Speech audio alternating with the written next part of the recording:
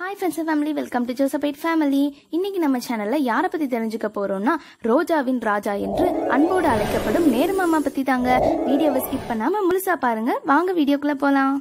இந்திய சுதந்திர போராட்டத்தின் முன்னணி தலைவர்களில் ஒருவரான ஜவஹர்லால் நேரு சுதந்திர இந்தியாவின் முதல் பிரதமராக இந்தியாவை வழிநடத்தியவர். சுதந்திர போராட்ட வீரராகவும் அணி சேரா இயக்கத்தை உருவாக்கியவரில் ஒருவராகவும் இந்தியா முழுவதும் குழந்தைகள் மற்றும் இளைஞர்கள் நலன் கல்வி முன்னேற்றம் குறித்து பல்வேறு திட்டங்களை நிறைவேற்றியவர் நேரு.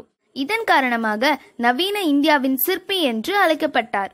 ஆயிரத்தி எண்ணூத்தி எண்பத்தி ஒன்பதாம் ஆண்டு நவம்பர் பதினேழாம் தேதி உத்தரப்பிரதேச மாநிலத்தில் உள்ள அலகாபாத்தில் மோதிலால் நேரு சுவரூபராணி தம்பதியருக்கு மகனாய் பிறந்தவர் தான் ஜவஹர்லால் நேரு. நடுத்தர குடும்பத்தை சேர்ந்த நேருவின் தந்தை ஒரு வழக்கறிஞர். அப்போது இருந்த ராஜாக்கள் ஜமீன்தார்கள் பெரும் பணக்காரர்களின் வழக்குகளுக்கு இவர் வாதாடியதால் பின்னாளில் பெரும் செல்வந்தராக வளர்ந்து நின்றார். ஜவஹர்லால் நேரு பிறக்கும்போது மாளிகை போன்ற வீட்டில் செல்வ செழிப்புடன் சமுதாயத்தில் பெரிய அந்தஸ்துடன் இருந்துள்ளது அவரது குடும்பம். ஜவஹர்லால் நேருவுக்கு இரண்டு சகோதரிகள் விஜயலட்சுமி பண்டிட் மற்றும் கிருஷ்ணாவு ஆனந்த பவன். இந்த மூன்று பேரும் சிறுவயதிலிருந்தே ஆங்கில நாகரிகத்துடன் வளர்க்கப்பட்டவர்கள். மகனை அரசாங்க வேலையில் அமர்த்த நினைத்த நேருவின் தந்தை நேருவை இங்கிலாந்திற்கு அனுப்பி பள்ளி படிக்க வைத்தார். ஆயிரத்தி தொள்ளாயிரமாம் ஆண்டுகளில் இங்கிலாந்திற்கு சென்று பள்ளியில் படிப்பது என்பது சாதாரண காரியமில்லை. இதிலிருந்தே தெரிந்து கொள்ளலாம் நேருவின் குடும்பம் எவ்வளவு செல்வாக்கான செல்வ செழிப்பான குடும்பம் என்பதை. பள்ளி படிப்பை ஆயிரத்தி தொள்ளாயிரத்தி ஏழாம் ஆண்டு முடித்த நேரு கேம்பிரிட்ஜ் பல்கலைக்கழக நுழைவுத் தேர்வை எழுதி தேர்ச்சி பெற்று இயற்கை அறிவியலில் ஆயிரத்தி தொள்ளாயிரத்தி பத்தாம் ஆண்டு பட்டம் பெற்றார். பிறகு ஆயிரத்தி தொள்ளாயிரத்தி பத்தாம் ஆண்டு கேம்பிரிட்ஜ் இன்னர் டெம்பிள் இல் சட்டம் படிக்க பதிவு செய்தார். பிறகு ஆயிரத்தி தொள்ளாயிரத்தி பன்னெண்டாம் ஆண்டு சட்டப்படிப்பை முடித்து பணி செய்ய இந்தியாவிற்கு திரும்பினார். ஆயிரத்தி தொள்ளாயிரத்தி பதினாறாம் ஆண்டு கமலா கவுல் என்ற பதினாறு வயது பெண்ணை திருமணம் செய்து கொண்ட நேருவிற்கு இந்திரா பிரியதர்ஷினி என்ற மகள் பிறந்தார். இவர்தான் நேருவிற்கு பிறகு இந்தியாவின் பிரதமராக வந்த இந்திரா காந்தி. ஆயிரத்தி தொள்ளாயிரத்தி முப்பத்தி ஆறாம் ஆண்டு மனைவி இறந்த பிறகு வேறு திருமணம் செய்து கொள்ளாமல் மகளுடன் வாழ்ந்து வந்தார். ஆயிரத்தி தொள்ளாயிரத்தி பத்தொன்பதாம் ஆண்டு ஜாலியன் வாலாபாக் என்னும் இடத்தில் நடந்த பொது கூட்டத்தில் பேசிக்கொண்டிருந்த போது எந்த முன்னறிவிப்பும் இல்லாமல் ஆங்கிலேய அரசு துப்பாக்கி சூடு நடத்தி கூட்டத்தில் கலந்து கொண்ட ஆண் பெண் குழந்தைகள் என பலரை கொன்ற சம்பவம் தான் நேருவை பாதித்து சுதந்திர போராட்டத்தில் ஈடுபட செய்தது.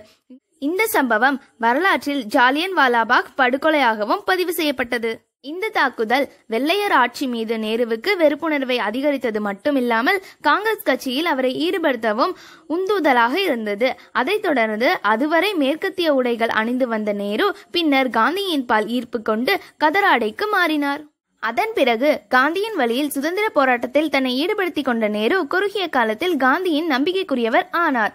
ஆயிரத்தி தொள்ளாயிரத்தி இருபதாம் ஆண்டு காந்தி நடத்திய ஒத்துழையாமை இயக்கத்தில் கலந்து கொண்டதால் முதல் முறையாக சிறைக்கு சென்றார். பிறகு ஆயிரத்தி தொள்ளாயிரத்தி இருபத்தி ரெண்டாம் ஆண்டு அந்த போராட்டம் விலக்கிக் கொள்ளப்பட்டதால் நேரு விடுதலை செய்யப்பட்டார். ஆயிரத்தி தொள்ளாயிரத்தி இருபத்தி ஆறாம் ஆண்டு காந்தியின் வழிகாட்டுதலால் இந்திய காங்கிரஸ் என்ற இயக்கத்தை தொடங்கி தலைமை பொறுப்பேற்று வழிநடத்தினார். அந்த இயக்கத்தின் கொள்கை ஆங்கிலேய அரசின் பிடியிலிருந்து முழுமையான சுதந்திரத்தை பெறுவது. அதன் பலனாய் சுதந்திரத்திற்கு பிறகு ஆகஸ்ட் பதினைந்தாம் நாள் புதுடெல்லியில் சுதந்திர இந்தியாவில் முதல் தேசிய கொடியை ஏற்றும் தனி சிறப்பும் அவருக்கு வழங்கப்பட்டது. சுதந்திர இந்தியாவின் முதல் பிரதம மந்திரியாக தேர்ந்தெடுக்கப்பட்ட நேரு அதன் பிறகு அவர் உயிரோடு இருக்கும் வரை பதினாறு ஆண்டுகள் தொடர்ந்து பிரதம மந்திரியாகவே இருந்தார் என்பது குறிப்பிடத்தக்கது. இந்திய சுதந்திர போராட்டத்திற்காக ஒன்பது ஆண்டுகள் சிறையில் கழித்தவர் நேரு. உலகின் பல நாடுகள் கிடைத்த சுதந்திரத்தை பயன்படுத்த தெரியாமல் பயன்படுத்தி தோல்வி அடைந்திருக்கின்றனர் இந்தியாவிற்கு சுதந்திரம் கிடைத்தால் அப்படி ஒரு நிலைதான் ஏற்படும் என்ற எண்ணம் உலகில் பல நாடுகளுக்கும் இருந்தது. சுதந்திரம் கிடைத்தாலும் இந்தியாவை ஆளும் திறமை இந்தியர்களுக்கு இல்லை என்று ஹிட்லர் ஒருமுறை விமர்சனம் செய்தார். உலக நாடுகள் எதிர்பார்ப்பை சாத்தியப்படுத்த தேவையான அத்தனை காரணங்களும் இந்தியா அப்போது கொண்டிருந்தது. இந்திய மக்கள் தொகையில் பாதிக்கும் மேற்பட்டவர்கள் வறுமை கோட்டிற்கு கீழ் இருந்தனர். ஏறத்தாழ எண்பது சதவீத மக்கள் பறிப்பறிவற்றவர்கள் அதனால் இந்தியா பல துண்டுகளாக சிதறும் என்று உல உலக நாடுகளின் எண்ணங்களை நேரு பொய்யாக்கினார். இந்தியாவின் தேர்தல் ஜனநாயகத்தை நடைமுறைப்படுத்துவது என்ற நேருவின் முடிவு மிக மிக தைரியமானது. அது மட்டுமில்லாமல் வயது வந்த அனைவருக்கும் வாக்குரிமை அளிப்பது என்று நேரு முடிவு செய்தார். ஒரு அரசியல் தலைவரின் முடிவு விமர்சனத்திற்கு உள்ளாகலாம். ஆனால் நேருவின் வயது வந்த அனைவருக்கும் வாக்குரிமை அளிக்க வேண்டும் என்ற முடிவு கேளிக்கைக்கு உண்டானது. இந்தியாவை ஆண்ட பிரிட்டிஷ்காரர்கள் வயது வந்த அனைவருக்கும் வாக்குரிமை என்பது இந்தியாவிற்கு பொருந்தாது என்று சொன்னார்கள். இந்தியர்களுக்கு நாட்டை ஆள தெரியாது என்று பிரிட்டிஷ்காரர்கள் நினைத்தார்கள். அவர்கள் மட்டுமில்லாமல் இந்தியாவிலும் நேருவின் இந்த முடிவுக்கு கடும் எதிர்ப்பு உண்டானது. அந்த காலகட்டத்தில் வாக்குரிமை மற்றும் ஓட்டு போடுவது என்றால் இந்திய மக்களில் பலருக்கும் என்ன என்றே தெரியாது. இந்தியாவின் பதினேழு கோடியே அறுபது லட்ச வாக்காளர்களில் எட்டு கோடி பேர் பெண்கள். அதில் சிலர் தங்கள் பெயரை சொல்லவே தயங்கியதால் பதினெட்டு லட்ச பெண்களின் பெயர் வாக்காளர் பட்டியலில் சேர்க்கப்படவே இல்லை. ஆயிரத்தி தொள்ளாயிரத்தி ஐம்பத்தி ஒன்பதாம் ஆண்டு நவம்பர் இருபத்தி ஐந்தாம் நாள் வானொலியில் பேசிய பிரதமர் நேரு தேர்தலின் முக்கியத்துவத்தை மக்களுக்கு சொன்னார். இந்திய துணை கண்டத்தை ஜனநாயக வடிவமாக்கும் பொறுப்பை நேரு சுகுமார் சிங்கிடம் ஒப்படைத்தார். நேருவின் நம்பிக்கையை சுகுமார் சிங்கும் இந்திய மக்களும் காப்பாற்றினார்கள்.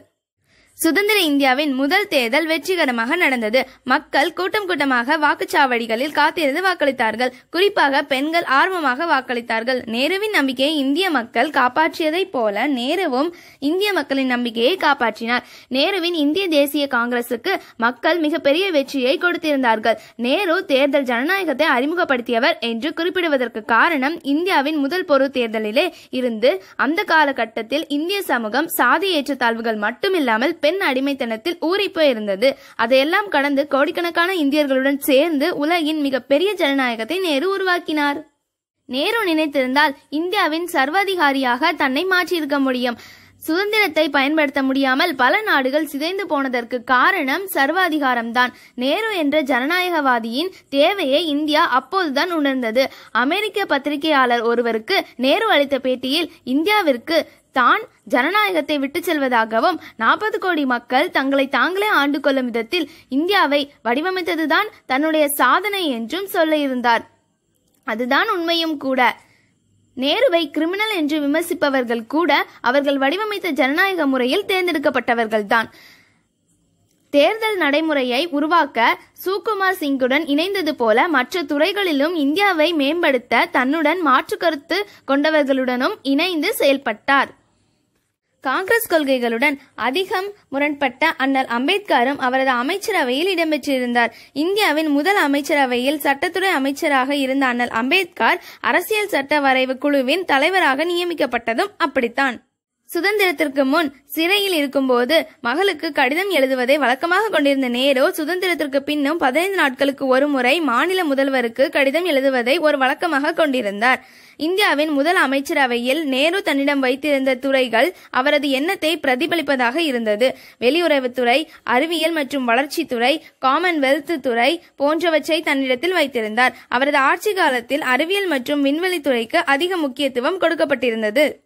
அவரது ஆட்சியில் இந்தியாவின் வளர்ச்சிக்கு பல திட்டங்களை தீட்டி நாட்டை முன்னேற்ற பாதையில் கொண்டு சென்றார் என்றால் அது மிகையாகாது. ஆயிரத்தி தொள்ளாயிரத்தி ஐம்பத்தி ஒன்னில் இந்திய திட்டக்குழுவை உருவாக்கி சுதந்திர இந்தியாவின் முதல் ஐந்தாண்டு திட்டத்தை வரைந்தார். முதல் ஐந்தாண்டு திட்டம் அரசாங்கத்தின் தொழிற்சாலைகளின் முதலீடு மற்றும் விவசாயத்தை வரையறுத்தது. மேலும் தொழிற்சாலைகளை அக- அதிகப்படுத்துதல் வருமான வரிகள் மூலம் கலப்பு பொருளாதாரத்தை உருவாக்கி சுரங்கம் மின்சாரம் மற்றும் கனரக இயந்திரங்கள் தொழிற்சாலைகள் தனியாரிடம் போவதை தடுத்து அரசாங்கமே நடத்த திட்டம் வகுத்தார் நில மற்றும் பங்கீட்டை முதன்மைப்படுத்தினார். விவசாய கிணறுகள் அணைகள் கட்டுதல் விவசாய உற்பத்தியை பெருக்க உரங்கள் உபயோகிக்கும் முறையை செயல்படுத்துதல் மட்டுமில்லாமல் அணு ஆற்றலில் இந்தியா சிறந்து விளங்கவும் திட்டங்களை தீட்டினார். ஆயிரத்தி தொள்ளாயிரத்தி நாற்பத்தி ஏழாம் ஆண்டு பூஜ்ஜியம் புள்ளி ஏழு சதவீதமாக இருந்த மொத்த உள்நாட்டு உற்பத்தி ஐந்தாண்டு திட்டங்களினால் ஆண்டுக்கு நாலு சதவீதம் அளவுக்கு உயர்ந்தது. இந்தியாவின் எதிர்கால முன்னேற்றம் குழந்தைகள் மற்றும் இளைஞர்களின் கல்வியை மேம்படுத்துவதில்தான் இருக்கிறது என்பதை நன்கு உணர்ந்த நேரு அவர்கள் அனைத்திந்திய மருத்துவ அறிவியல் கழகம் இந்திய தொழில்நுட்ப கழகங்கள் இந்திய மேலாண்மை கழகங்கள் தேசிய தொழில்நுட்ப கழகங்கள் போன்ற அரசாங்க உயர் கல்வி நிறுவனங்களை ஏற்படுத்தி கவனித்து வந்தார். இலவச கட்டாய கல்வி திட்டத்தை செயல்படுத்தி ஆயிரக்கணக்கான பள்ளிகளை கட்டினார். சிறந்த கிராமப்புற திட்டங்களை ஏற்படுத்தி பள்ளிகளில் இலவச சத்துணவு திட்டத்தை அமல்படுத்தினார்.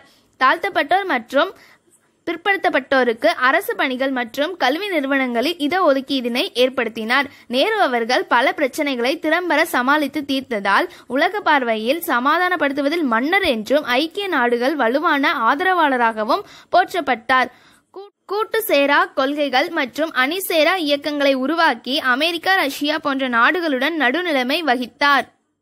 ஆயிரத்தி தொள்ளாயிரத்தி அறுபத்தி நாலாம் ஆண்டு வாக்கில் நேருவின் உடல்நிலை மோசமாக இருந்தது. அதனால் காஷ்மீரில் தங்கி கட்டாய ஓய்வெடுக்கும் சூழ்நிலைக்கு தள்ளப்பட்டார். கடைசி காலகட்டங்களில் உதவிக்காக மகள் இந்திரா மற்றும் சகோதரி விஜயலட்சுமி ஆகியோரை உடன் வைத்திருந்தார். ஆயிரத்தி தொள்ளாயிரத்தி அறுபத்தி நாலாம் ஆண்டு காஷ்மீரிலிருந்து திரும்பிய நேரு பக்கவாதம் மாரடைப்பு நோய்களால் பாதிக்கப்பட்டு மே மாதம் இருபத்தி ஏழாம் தேதி அதிகாலை மரணமடைந்தார். அவருடைய உடல் யமுனை நதிக்கரையில் உள்ள சாந்திவனத்தில் தகனம் செய்யப்பட்டது. ஒரு சுதந்திரமான சமத்துவமான ஜனநாயக நாட்டை உருவாக்க வேண்டும் என்ற நேருவின் கனவுதான் இந்தியாவிற்கு வலுவான அடித்தளத்தை அமைத்துக் கொடுத்தது என்றால் அது மிகையாகாது. இந்தியா முழுவதும் நாட்டின் முதல் பிரதமரான நேருக்கு பெருமை சேர்க்கும் வகையில் ஏராளமான கல்வி நிலையங்கள் விளையாட்டு அரங்கங்கள் தெருக்கள் சாலைகள் மற்றும் பல பொது நிறுவனங்களுக்கு நேருவின் பெயர் சூட்டப்பட்டு அவருடைய நினைவை பறைச்சாற்றுகின்றனர் ஆயிரத்தி தொள்ளாயிரத்தி எண்பத்தி ஒன்பதாம் ஆண்டு சோவியத் ஒன்றியத்தால் நேருவின் தபால் தலை வெளியிடப்பட்டது. மும்பையில் உள்ள ஒரு துறைமுகத்திற்கு நேரு துறைமுகம் என்ற பெயர் சூட்டப்பட்டுள்ளது. நேரு பிரதமராக இருந்தபோது அவர் வசித்து வந்த தீன் மூர்த்தி பவன் தற்போது அவர் நினைவாக அருங்காட்சியகமாக மாற்றப்பட்டு இன்றளவும் இந்திய அரசால் பராமரிக்கப்பட்டு வருகின்றது. லண்டனில் உள்ள ஆல்ட்விச்சில் நேருவுக்கு சிலை எழுப்பப்பட்டுள்ளது. நேரு அவர்கள் வாழ்நாள் முழுவதும் குழந்தைகள் மற்றும் இளைஞர்கள் நலன் கல்வி மற்றும் அக்கறையுடன் பாடுபட்டதை நினைவூட்டும் வகையில் அவரின் பிறந்த நாளான நவம்பர் பதினாலை இந்தியா முழுவதும் குழந்தைகள் தினமாக கொண்டாடுகின்றோம்.